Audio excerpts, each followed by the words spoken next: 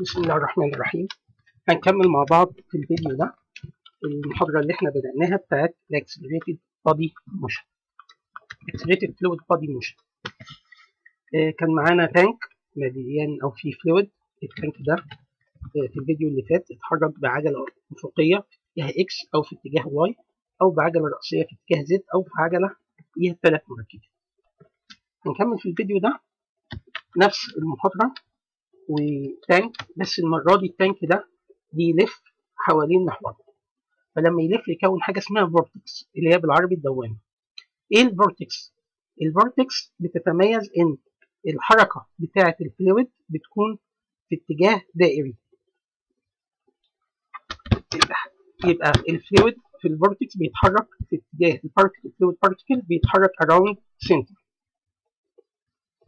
عادة وإحنا بنحل ال vortex لما بنختار المحاور بختار محور Z لفوق كالعادة والمحاور بدل الأفقية بدل ما بخليها X و Y بخليها R في اتجاه ال radius radial sorry اتجاه ال radial N في الاتجاه المعاكس ليه S في اتجاه tangential لل circle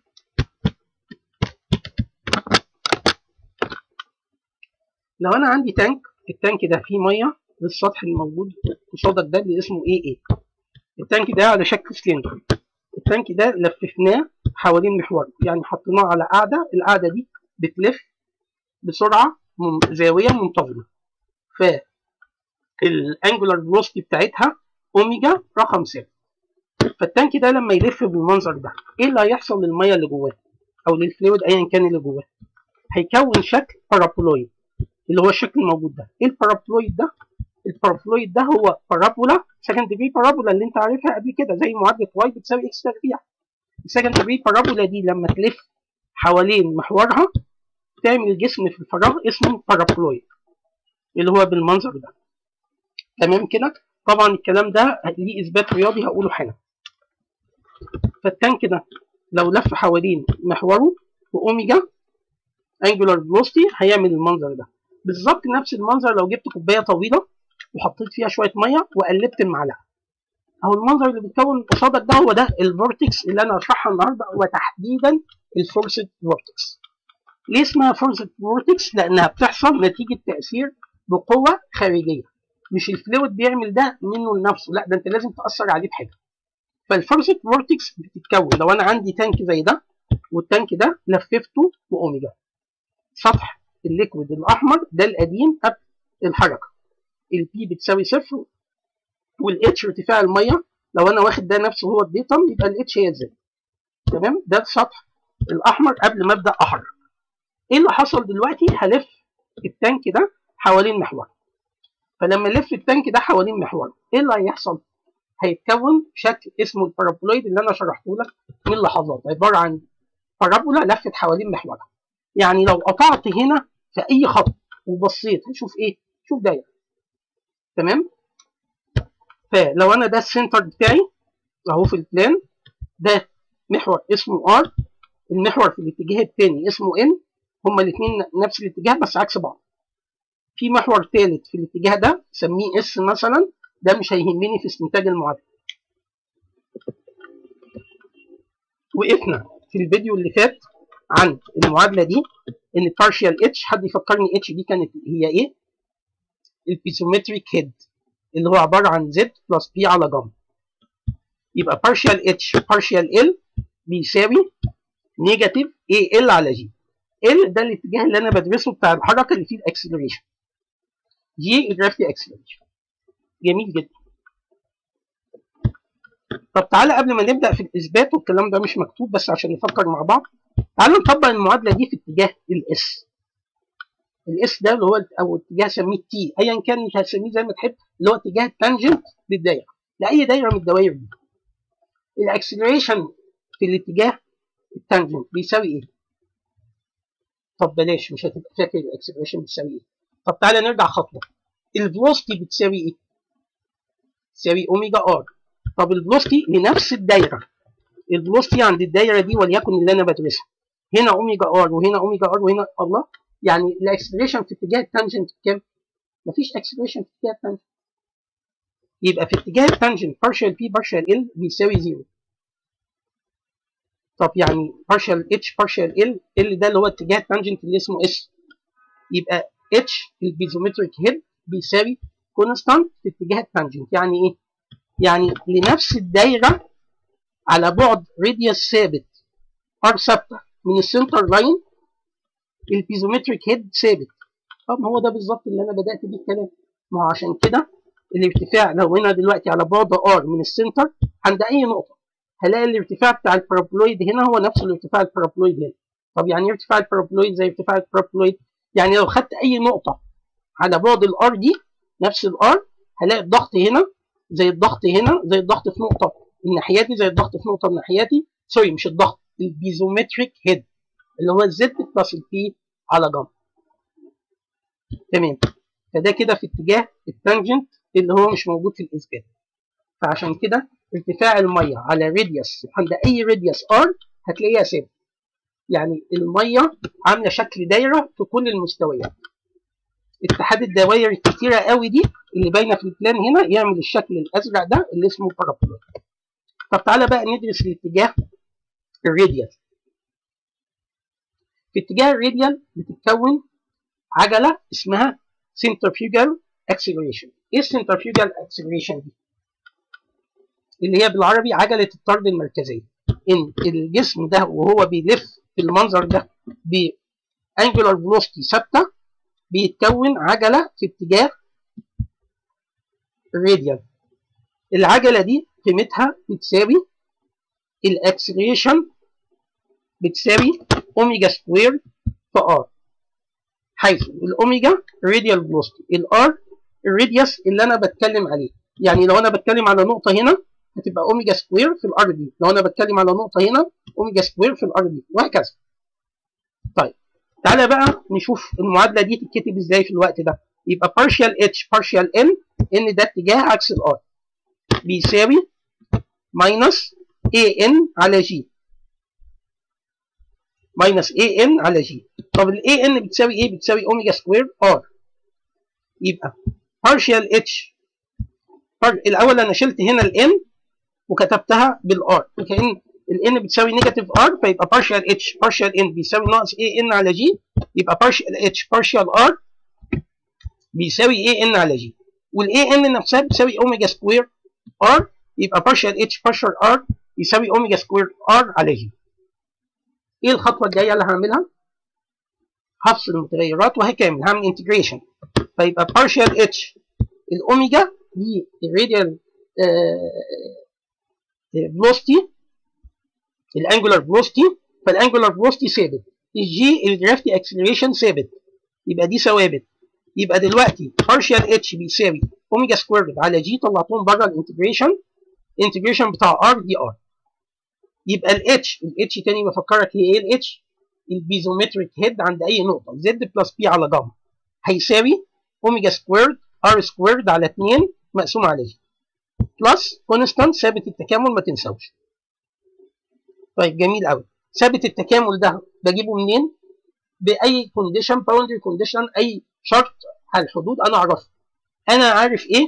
عارف إن الارتفاع في النص بالظبط في ال center بتاع ال tank هفرض ان اسمه h node h node ده الارتفاع ال liquid في ال center بتاع ال tank يبقى عند r بتساوي صفر اتش بتساوي h node هيطلع ال constant في الحالة دي بيساوي حط هنا r بصفر ال term ده هيتشطب.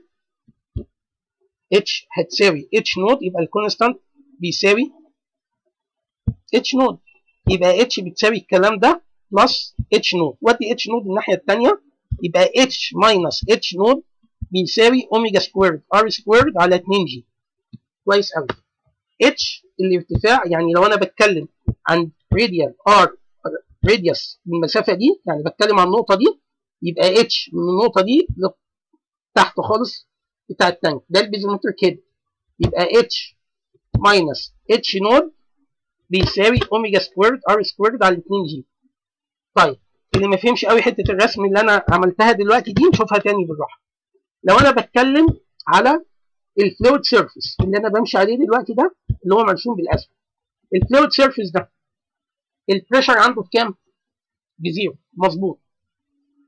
يبقى ال H بتاعته بتساوي الزد بلس البي على جاما البي بتاعته بزيرو. يبقى ال H بتاعت الخط ده هتبقى هي نفسها ال Z تمام؟ وال H بتاعت هنا هتبقى هي نفسها ال Z nod. يبقى Z minus Z nod بيساوي omega squared R squared على 2 G إيه Z minus Z nod خد datum في أي حتة مش شرط عند قاع ال tank زي ما أنا قلت من شوية لأ في أي حتة. الارتفاع عن ال datum Z minus Z nod بيساوي omega squared R squared على 2 G يعني لو أنا بقيس من هنا بقى لو أنا خدت ال datum نفسه هنا في النقطة دي اللي أنا واقف عندها دلوقتي. فارتفاع ال paraboloid بتاعي عن النقطة دي. في اي radius بيساوي omega squared R squared على 2 G تمام كده؟ شوية حاجات نفتكرها مع بعض. ال volume بتاع ال paraboloid لو أنا عندي paraboloid بالمنظر ده وعايز أجيب الحجم بتاعه. الحجم بتاعه بيساوي نص مساحة القاعدة في الارتفاع نص ال base area في ال height نص ال base area لو أنا بتكلم على دايره pi R square في ال height H نص حجم الاسطوانة اللي موجودة معاه. يعني لو أنا عندي اسطوانة ليها radius R وارتفاع height H حجمها يبقى إيه؟ هيبقى pi R square H يعني حجم ال paraboloid نص حجم الاسطوانة المشتركة معاه في ال radius وفي ال height تمام. ال H capital بقى ما انساش إن في علاقة بص أي H لل paraboloid بتاعي. في علاقة بينها ما بين ال radius بتاعه. فال H بتساوي omega squared R squared على 2 G ده اللي إحنا اثبتناه هنا. جميل؟ جميل. طيب. تعالى نشوف مع بعض كده إيه اللي بيحصل. ده وضع ابتدائي. مفيش أي حركة. إيه اللي حصل؟ ابتديت الفف بأوميجا قيمة صغيرة قوي فنتيجه الأوميجا القيمة الصغيرة قوي دي هيتكون paraboloid بالمنظر ده. ارتفاع ال paraboloid ارتفاع الكلي لل paraboloid ده اللي هو منين لفين؟ من النقطة دي لغاية النقطة دي في اتجاه ال Z يعني المسافة دي. المسافة دي H capital ارتفاع الكلي لل paraboloid بيساوي إيه؟ بيساوي omega squared R ال radius الكلي لل tank ال radius الكلي اللي هو ده كله omega R squared على 2 G يبقى أنا كده جبت ارتفاع ال paraboloid تمام؟ أقدر أجيب المسافات اللي أنا عايزها من ال geometry زي ما هتحل في ال section ومن الحجوم لأن لغاية دلوقتي مفيش أي fluid حصل له spilling out مفيش أي حاجة خرجت من من ال tank ولا دخلت. فحجم ال liquid قبل ما أبدأ ألف بيساوي حجم ال liquid بعد ما بديت ألف. بمعادلة بسيطة قوي هتعرف إن الخط ده بيبقى في نص ارتفاع ال paraboloid لو الشكل زي ما أنا رسمه كده. طيب كويس قوي لو زودنا أوميجا دي شوية إيه اللي هيحصل؟ نفكر مع بعض. لما أوميجا تزيد ال paraboloid ارتفاعه هيزيد فال H paraboloid هتزيد. طب نفكر بالراحة لو أنا عايز أرسم على نفس الرسمة. هل هتزيد من هنا ودي تفضل زي ما هي يزيد كده؟ لا طبعا. لأن معناها كده إن أنت بتتكلم إن في مية أو liquid بتتحط من بره. أمال إيه اللي هيحصل؟ حجم ال paraboloid هيزيد ارتفاعه هيزيد بس هيزيد كده وكده ويبقى ده ال paraboloid الجديد. طب زودت كمان زودت كمان أقدر أزود لغاية الخط المرسوم بالأحمر قصادك ده. إيه الخط المرسوم بالأحمر ده؟ ده maximum angular velocity omega اللي تسبب no spilling out of tank ده أقصى omega ال tank ده يقدر يلف بيها وفي نفس الوقت ما يحصلش إن في fluid يخرج من ال tank. ولغاية اللحظة دي الأوميجا دي اللي مرسومة بالخط الأحمر قصادك ما حصلش spilling out of tank يعني إيه؟ يعني حجم ال liquid قبل الحركة بيساوي حجم ال liquid بعد الحركة. خد بالك هنا أنا بقول لك أنا هسمي المسافة وأنا بحل المسائل بقى هسمي المسافة H من ال origin بتاع ال paraboloid لأي نقطة عليه. فيبقى ال H بتساوي الأوميجا اللي تسببت في. في تكون شكل ال paraboloid ده الاوميجا اللي هي ال angular velocity في squared في ال R squared مقسومة على twice G تمام؟ وبفكرك بمعادلات الحجوم اللي إحنا هنستخدمها. طيب لو زودت بقى ال rotation كمان أثرت بأوميجا أكبر شوية كمان إيه اللي هيحصل؟ ال paraboloid هيكبر كويس لما ال paraboloid يكبر بقى دلوقتي إيه اللي يحصل؟ يحصل spilling out of tank وبالتالي يبقى حجم ال liquid اللي هيتبقى بعد الدوران لازم يكون أقل من حجم ال liquid قبل مبدأ عملية الدوران. تمام؟ كويس قوي ال liquid دلوقتي هيبقى موجود فين؟ هيبقى موجود برضو آخره هنا. بس ال paraboloid هتكبر لتحت. والفرق ده راح فين؟ كب فتكون عندي ال paraboloid اللي بالأخضر دلوقتي. ده واضح كده؟ طيب لو أنا وقفت دوران دلوقتي سطح الميه هيقف فين؟ عند سطح قبل أصغر من من ده. هيبقى سطح في مكان ما كده. واعرف أحسبه واعرف أحسب الضغوط عند أي نقطة واعرف أعمل حساباتي كلها. كويس. كده حصل spilling out خلاص تمام؟ تمام. طب لو زودت اوميجا كمان زودت ال rotation أكتر زودت السرعة أكتر الزاوية ال angular velocity زادت أكتر إيه اللي يحصل؟ ال paraboloid هيزيد ويوصل لغاية هنا. طب زودت كمان هيتكون paraboloid مقطوع. paraboloid تكملته تخيلية تحت مفيش مية تحت. تكملته تخيلية دي عشان ترسم وتعمل ال geometry calculation بتاعتك. لكن المية الحقيقية موجودة فين؟ موجودة في الجزء ده. والباقي كله اتكب. الجزء ده اللي هو الجزء ده اللي هو حوالين ده. تمام؟ طيب. تعالى بقى نفكر مع بعض. وقبل ما أقلب ال slide الأخيرة لو ال tank ده كان closed tank إيه اللي هيتغير؟ فتعالى كده بالراحة على نفس ال slide دي قبل ما نعرضها. بالأوميجا أصغر الأوميجا اللي هي تسببت هنا في الخط الأزرق ده. دي فرق إذا كان open ولا closed لا. طيب الأوميجا دي لغاية هنا دي فرق إذا كان open ولا closed برضه لا. أمال هتبدأ تفرق من إمتى؟ من أول الأوميجا اللي حصل فيها spilling out ده لو كان open هيحصل spilling out لكن closed tank يعني tank مقفول. يبقى ما فيش أي spilling out يبقى ال paraboloid اللي هيتكون في closed tank هيبقى غير ده. تعالوا نشوف هيبقى شكله إيه.